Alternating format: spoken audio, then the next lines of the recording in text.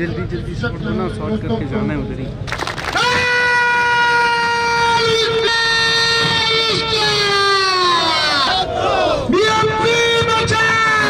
دیکھیں یہ جو آج کا احتجاج ہے، یہ ہمارے جو وائس چانسلر صاحب ہے یہ ملازمین کے ساتھ زیادتی کر رہا ہے۔ دوسرا یہ ہے کہ جب سے بولا میڈیکل کالج ختم ہو گیا، یونیورسٹی بن گیا تو ہم بڑے خوش تھے کہ بلوچستان میں پہلا جو میڈیکل یونیورسٹی ہے، بڑی خوشی ہوئی۔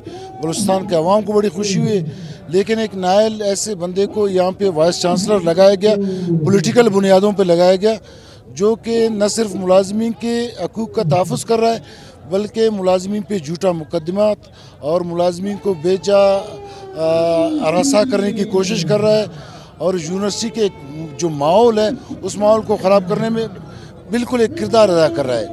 تو ہمارا یہ مطالبہ ہے کہ اس طرح نائل وی سی کو یہاں سے ہٹایا جائے اور ایک آئل وی سی کو لایا جائے جو نان پولیٹیکل ہو۔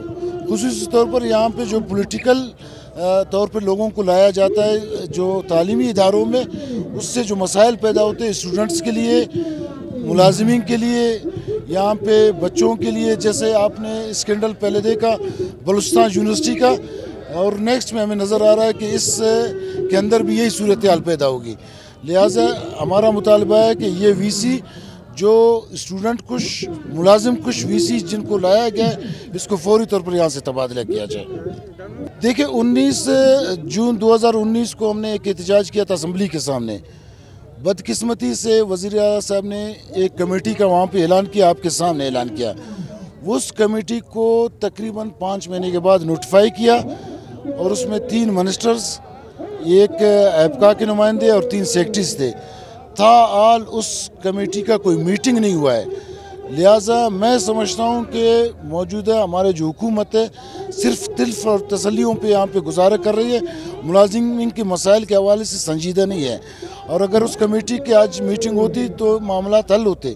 لیکن ابھی بھی ہمارا مطالبہ یہی ہے کہ جو کمیٹی تم نے تشکیل دیا ہے، فوری طور پر اس کا اجلاس بلایا جائے اور یہ ہمارا مطالبہ ہے کہ جس طرح سیکٹریٹ کے اندر ملازمین کو یوٹیلٹی الاؤنس دیا جا رہا ہے، جس طرح سیکٹریٹ کے اندر بہت سارے الاؤنسز دیے جا رہے ہیں، ڈاکٹرز کو رسک الاؤنس دیا جا رہا ہے۔ ہمارا مطالبہ ہے کہ تمام محکموں کے اندر یکساں جو مرات ہے، وہ یکساں ہونی چاہیے۔ ایک کو زیادہ، ایک کو کم۔ تو یہ ہمارا مطالبہ اپنے جگہ پہ ایکسٹینڈ کرتا ہے۔ اگر یہ کمیٹی کی باقاعدہ جو نوٹیفائی گورنمنٹ نے کیا اس کی میٹنگ نہیں ہوئی۔ تو ان شاء اللہ تعالیٰ انگ قریب پورے بلوچستان کے اندر، بلکہ میں کہوں گا پورے پاکستان کے اندر، ہم اس پہ سراپا احتجاج ہوں گے اور احتجاج کریں گے۔ بہت شکریہ۔ اگر وی سی کی اسی طرح اٹدربی برقرار رہی اور ہمارے مسائل حل نہیں ہوئے، تو اس کے بعد ہم نے سترہ تاریخ کو اناؤنس کیے ہم بلوچستان اسمبلی کے سامنے دھرنا دیں گے۔ اس کے بعد بھی اگر حل نہیں ہوئے، اس کے بعد ہم گورنر ہاؤس کے سامنے دھرنا دیں گے۔ اور اگر اس کے بعد بھی حل نہیں ہوئے، پھر مزید ہم سخت اقدامات کریں گے اور اس کا دائرہ بہت وسیع کر دیں گے پورے صوبے کے لیول پہ۔ جب تک ہمارے مسائل حل نہیں ہوئے، جب سے یونیورسٹی میں ہم منتقل ہوئے، ہم سارے ملازمین غیر محفوظ ہو گئے۔ ہم یہ چاہتے ہیں کہ ہمارا پرانا سٹیٹس کالج کا بال کیا جائے اور جس طرح پہلے صوبائی گورنمنٹ کے ملازم تھے، اسی سٹیٹس پہ لایا جائے۔ بغیر ہم سے پوچھے، بغیر آپشن لیے، ہم کو اٹھانوس باڈی میں شفٹ کر دیا۔ ہم تیس تیس سال سروس کر چکے ہیں صوبائی حکومت میں۔ ہم سے آپشن لیے بغیر ہمیں صوبائی گورنمنٹ کا ملازمت سے شفٹ کر کے اٹھانوس باڈی میں کر دیا۔ ہم سارے غیر محفوظ ہو گئے۔ جب تک ہمارے مسئلے حل نہیں ہوتے اور جب تک ہمیں واپس پرانے اسٹیٹس پہ نہیں لایا جاتا، ہمارے تحریک چلتا رہے گا اور دن بدن اس میں شدت پیدا ہوگی انشاءاللہ۔